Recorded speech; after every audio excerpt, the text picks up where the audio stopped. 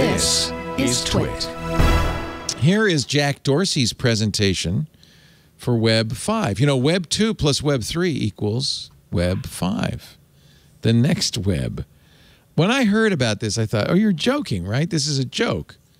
I don't think it is. No, it's not joking. I, I tweeted and he answered. I said, "What is the relationship of this to Blue Sky?" And he answered that Blue Sky can be built on top of this. Yeah, because the identity. tagline Web 5 is the decentralized web platform. Of course, Blue Sky is decentralized Twitter. So Oh, I should go look at this. I have not seen this. it is It's- on. I- Uh, I put Google, it up, I put it up there because I wanted to hear what Docs. you guys thought of this and, and, and any BS detection you have. Uh, well, that's that's even not fair. Um, what what interests you? Because I can't fully figure it out. It's about ident- It's about distributed identity, and there's some What interesting slides here about confirming identity. Uh, that would be line uh, 25. 26. Uh, uh, B- Bothombot. Higginbot. Higginbot. Higginbot. Higginbot. Higginbot. Yeah. I, I go for the Gigabot personally. But yeah, if you want to go Higginbot. Have right, you I'll been called this, Higginbot a hundred times before? Um, no, but when I was in school, they called me Higginbutt. That was a. Oh, That's I the had difference. a huge Higginbottom. That's School that's is the difference awful. between then and now, right? now you are a not bot, there. not a butt. We're, we're going to talk Web 5. That's what we're going to talk. Evolving the web. Okay, today in the current web model, his presentation says people are users who do not own their own data or identity, right? They're given accounts by companies and their data is held captive in app silos. That's Oh, clearly this isn't going to work. That's a problem. The web we want to create a new class of decentralized apps and protocols that put individuals at the center. We must empower them with self-owned identity and restore control over the data. You know, I mean, this is everybody's saying this. Tim Berners-Lee, who invented Tim the Berners-Lee's World Wide arguing this Love for some time. Web, is saying So, this. but is he going to build it? Well, that's the gonna build it? question. No, you is- can't build it. So you can't. The problem is people are stupid and lazy, and we don't want to actually have the technical capabilities to do and manage our own identity in a way that can be multi-factored across lots of places. Nobody wants And to make a server. companies doesn't want to make it. They don't want to make it easy for us because they can monetize and trap us by using the Mm-hmm. centralized identity as a way to to track like to offer services and to track us and all that so this is this is basically like oh give me some sort of philosophy about like work and people and rights i mean i don't i don't know i'm I don't know. At Jack to the rescue. It's socialism. Is that what you're saying, Stacey Higginbot? No, it's more like a tragedy of the. It's Of the not a tragedy of the commons? Yeah. commons. It's like, it's like basically like people want to get value for nothing, and companies want to extract all the value they can from people. There's not really a medium ground. right. There's no reason for them to make it easy for us. Right. And in fact, I would imagine companies would see this as a great opportunity because, as as you pointed out, if you have a unique identifier uh, with all your data in it, oh, companies are going to say, "Hey, great, that makes it a lot easier for us. Thank you." Just just hand, You would think hand that, that but think over. how like we we built the web, which was perfect for things like this in a lot of ways. Like you look at like things like uh, domain registries and URLs. I mean, that made it easy to get places on Right. the web, and and it was a fairly accessible system for many people. It's not accessible for everyone. Think about like how well that worked, but then we all wanted to create these walled gardens. I mean, it's like whatever that forever tension is called. this Look at um, slide nine. This is see yeah. I, I have it up right now. This is um, I think this is blue sky. I think this is kind of what Blue Sky is saying, and Blue Sky might be a Twitter implementation of this concept. But this is what I think he wants to do: this decentralized. Um, and a lot of people have thought a lot about this. Somebody's obviously put a lot of thought into this, but uh, until there is a proof of concept application, I'm not. You know, where's It's still you, you're, you're looking at trust and identity. You, you need a trusted view of identity, right? And without a centralized authority for that, because that would be Yeah, well, we have that. It's called we're pub- up. public key crypto. Uh, PKI does it for a lot of things. Um, so we, we kind of have that kind of thing. But, but, to Stacy's point, major pain in the butt. yeah, and gonna do? even more like, well, what's the incentive? What's the what, why would Amazon or. Facebook or or Google Right. do this? I mean, they're going to say, yeah, sure, You- go ahead, fine, yeah. And if you, You want to visit cool, us, though? you're going to handle over your IT so we know who you are. Right. Do you okay? So this is kind of silly, but looking at this uh, presentation, I want to. Uh, where should I put a, a file? A friend of mine wrote this, and this this presentation just brings it all home. Um, Put it in the chat on the uh, uh, Google Doc. chat on the Google. Oh no, I just started to meet. Hold on, wrong button. Don't worry, My soon that's going to be a duo. All right, so Yeah. episode. Where does it? Where does it go on the top? No, on the bottom. Here. Oh, I just stuck it. No, undo. I can't work the internet. But you haven't worked on the internet Stacy. long, uh, Stacy. Put it put it in the IRC or I'm gonna put it, Put it in line Reddit, and or then put it in Line line so-and-so. 28. Line 46. You don't have to stuck it in line excuse us. This technology stuff is hard. Stacy's like, ah. we don't really Um, know how it works. But go ahead. Let's just weigh in on Jack's Web 5. So, exactly. On- so I have line an 46 opinion. is where it is. okay. But uh, my friend who works at an analyst firm, he he wrote about what he calls the developer aesthetic, which is exactly this. It's like hexagons. It's got the font for. It's basically like trying to oh, oh, appeal. yeah. So and I was like, so when I saw this, I was like, oh my god, it's the developer aesthetic. Yeah, until there's Completely and code. Totally. And I, maybe there is code. I'm not saying there isn't, but you know, it's hard to judge. Yeah, this is a nice slideshow, but it's hard to judge it until there's code, right? It is. I mean, well, in just the, it feels like the tech people, they come at it and they're like, I have this beautiful vision. And then they, they come out and they program it and they come up with like protocols and a way to make it happen. And then the business people look at that and they say, how can I make that make me money? Right. And the tech people, you would think they would figure out that that's what happens every time. But it's like they don't. And then when the business people come in and start making money, the tech people either do one of two things. They jump in Sell and they're out. like, they sell out and they sell out in the most like just Mark Zuckerbergian way, where they're just like continuously making unethical decisions and just you know getting away with it and apologizing later if they have to. Or they just like leave completely and become like weird people who live in basements and rail from you know the, from like chats about mm-hmm. selling out Uh, just on the, I'm, I'm looking at this slideshow. I mean, he's really kind of just describing PKI. I, um, I, you know, PKI or I saw like 20 of these back in like 20, Yeah. uh, 20 2008, 2010.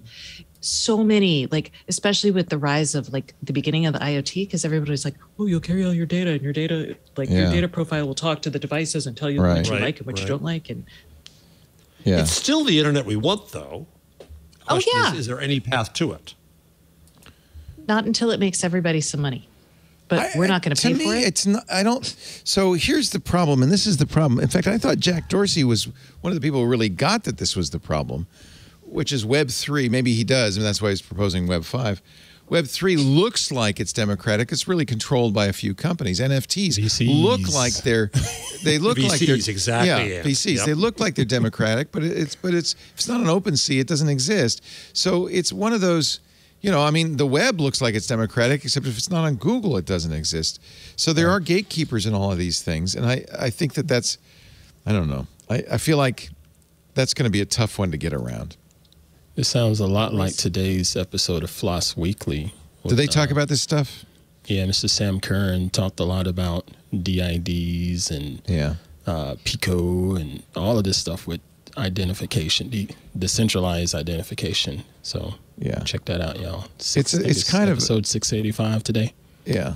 I mean, it's a solved thing, but I don't know how it gets implemented globally as a as a, the next internet. These things don't happen kind of that way. They they happen much yeah, more. Yeah, you need like an organically. Well, IEEE how do you get standard or right, something. Right. Even then. How do you get regular people to understand this stuff? That's that's a challenge, right? How do you get them to understand this stuff and get them to want to buy in and make all of the all of the I think regular people now involved? understand they want privacy, but Mm-hmm. I I, don't think, they if- do. I think when you tell They them, I will give you really. privacy. Yeah, I was like, if I tell you, I will give you privacy, but I won't be able to give you Google Maps because of that. They're like, Oh, sorry. Yep, They're like, heck no, I'm on Google Maps. Yeah, yeah. No, I think you're It's right. like I'm out. Yeah, even in Germany, you're right. You're right. yeah, convenience um, ultimately is all we care. Well, so back to Stacy's point. Can you, if you're an entrepreneur, can you see in Jack's map a way to build a business that survives on its own using this structure and starts to, to draw capital in so that people can make money doing that? So then, then I'm saying it's not the average person, it's the person who builds this into a usable service of some sort, uh, Blue Sky, Twitter, whatever, and say, yeah, I like that. No, because nobody wants to be in the picks and shovels. They want to be in like the walled garden. They want the highest profit margins. They don't want to build like the pa- like. Remember how Intel funded all these companies to help drive the adoption of their chips? Most people don't have the Intel mentality. They have the telco mentality, which is like these are my pipes, and you're going to pay dearly to use it. Um, so you have to decide if you're what. And VCs always want that other model. So here's another theory, uh, just playing here. Um, Jack's Web 5 is regulation proof. Uh, in the sense that it's distributed, That's not proof. I don't quite mean what I'm saying, but but it, but it's no longer the big company is the big target, uh, the big place where we everything is controlled, and we and we resent that.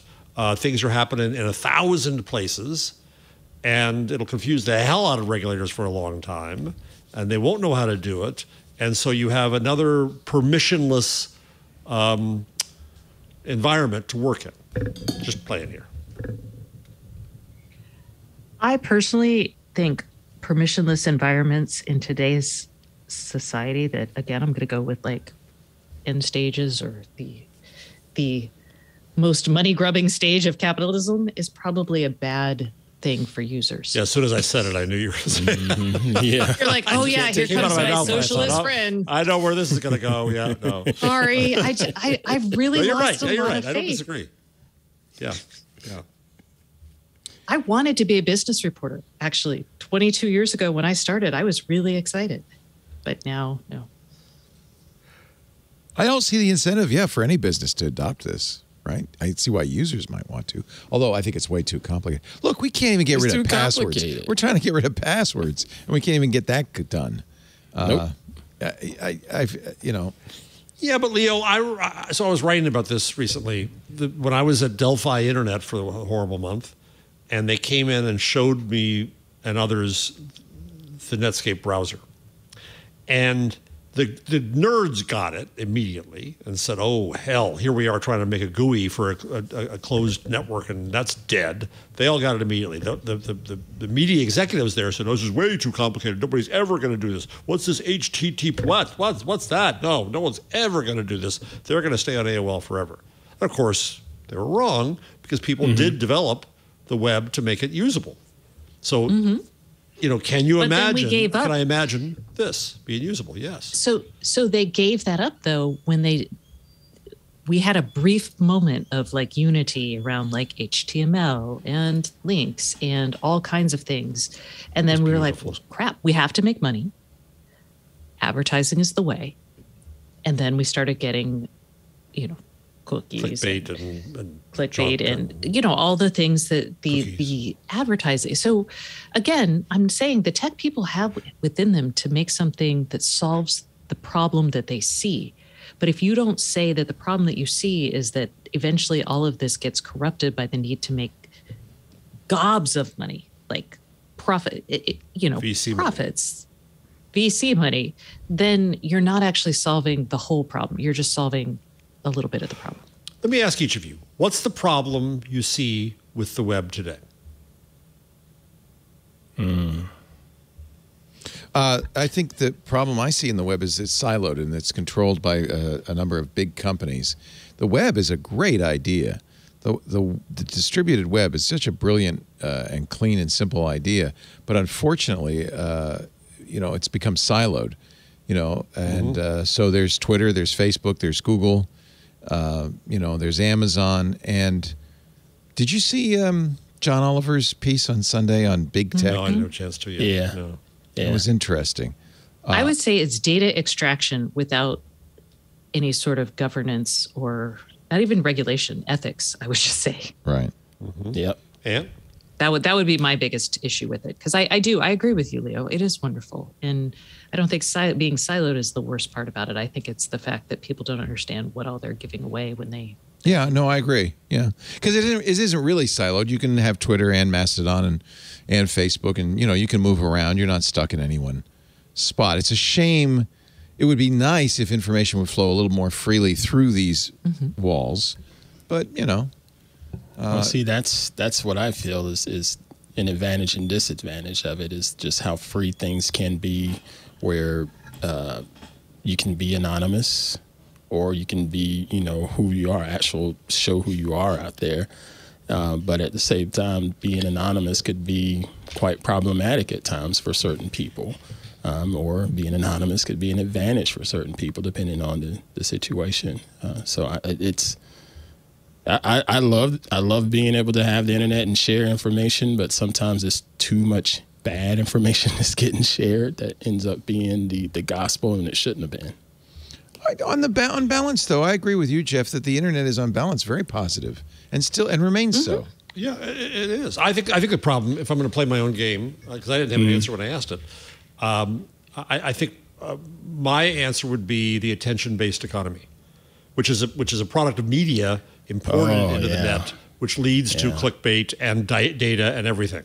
It's not a value-based mm-hmm. economy, and selling your attention because they're not selling your data; they're selling your attention, and and to do that, Good point. they trick you and they grab your data and they have horrible experiences and they silo.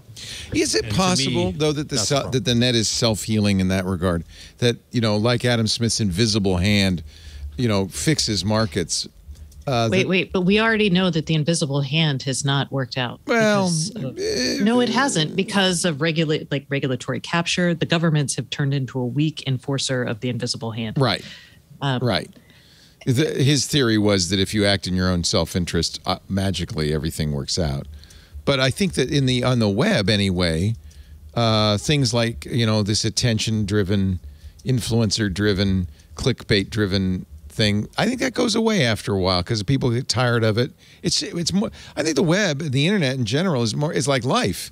It's it it ebbs and flows. It comes and goes, and when bad things happen, they you know they ha- they will happen, and then they will they will go away, and and uh, and I think it's going to be more and more like the ebb and flow of life itself, because it, it really is, isn't it? I mean, it's it's it's not separate from how the world is in any way, and as it becomes less so, it becomes more like the world.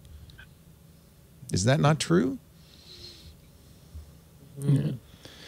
I don't know if I've seen this ebb and flow quite as much, but Well, we're Well, you know we're you're- we're fish, younger, Stacey. We're a fish in the middle of it. We've been we've been ebbing and flowing a lot longer than but, you have. but we, you know, we can't like, see it because it's on, it's on a around in- larger scale than we're aware of. But it, but it happens. I think it, it does happen.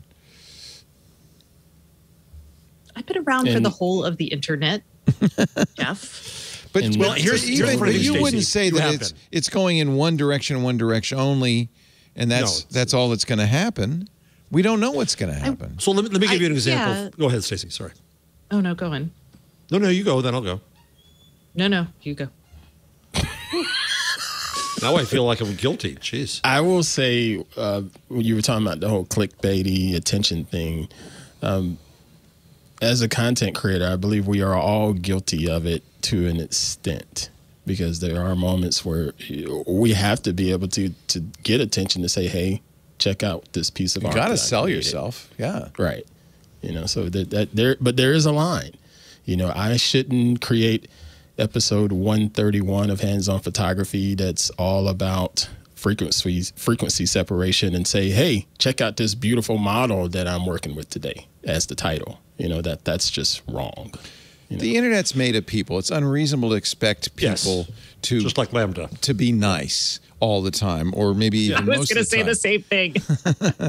so so but it but just like people it comes and goes and there's good and there's bad and um and i don't think that it's yeah we all do some marketing um and then you know some people think that the way they can market themselves is to add more value as opposed to trick you into reading the article Um, but there's going to be both kinds, and neither one's going to Mm-hmm. go away.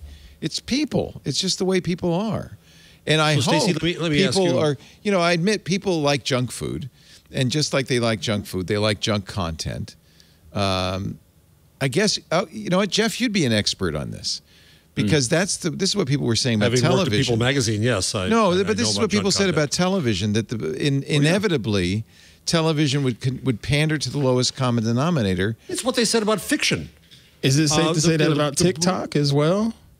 Yeah. Because just, I mean, granted, there's a lot of ridiculously talent out there in the TikTok space, but man, there's I get so many random text messages of a TikTok clip that I'm like, why is this? Why does this have so many Exist. millions of views and it makes no sense whatsoever? Just some something mindless of someone getting kicked in the nuts. So all media, all media does this, right, Jeff? Yeah. Anytime Mhm. Yeah. Oh, media absolutely. has to live by the size of its audience.